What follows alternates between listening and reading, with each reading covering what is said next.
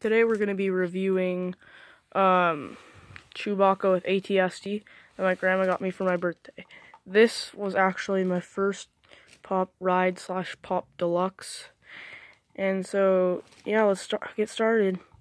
First, I really like how it has, it's all detailed. It has, like, all these, like, all these things, like, things that look like they make it run. And it's legs.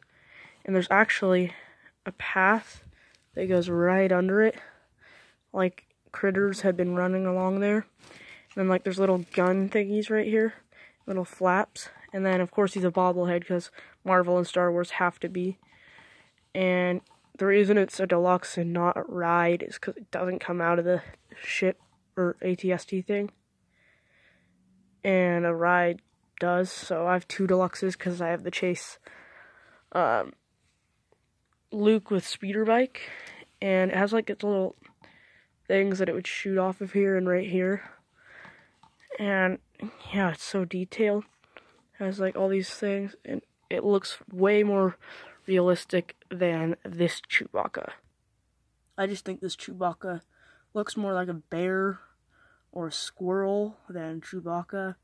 This one and uh, the other one look way better. Like, I mean, this one one.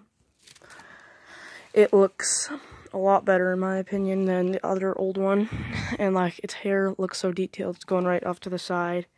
Let's See the color fading really good. I think this is really nice. So yeah, this is review of Chewbacca with ATST. Of course, it just came out 2018. So yeah, thanks for watching.